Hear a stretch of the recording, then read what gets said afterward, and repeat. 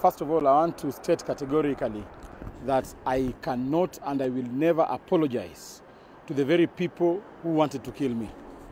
DCI uh, Kinoti today appeared before the Senate, and it's quite unfortunate with the remarks that he made before the Senate that I should apologize to the DCI department. I will never do such a thing because I'm certain that whatever evidence that I was giving before the Senate was accurate because my sources have also given me further uh, uh, information about uh, the same plan. So I would like to ask the Inspector General or to implore upon an independent investigatory, investigatory organ to take charge with this matter. The DCI are the accused. You cannot be the accused and the investigator at the same time. We want to ask the Independent Police Oversight Authority to take up this matter. We've reported it to IPOA and we believe that an independent body will come up with a better investigation than what DCI are trying to, to, to bring forth.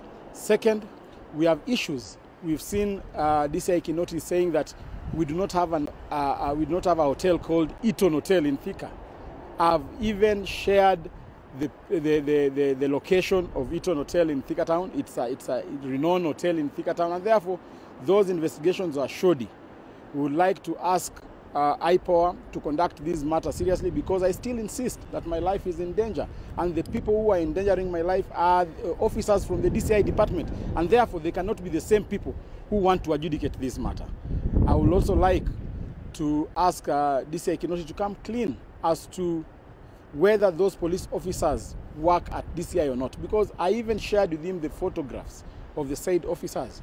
But I will not be intimidated by him trying to tell me that he will charge me before a court of law. Let us meet in court. I am ready for that, and I will provide more evidence in court. But you will never be intimidated uh, by the mere fact that you are the same people who are accused and the same investigator.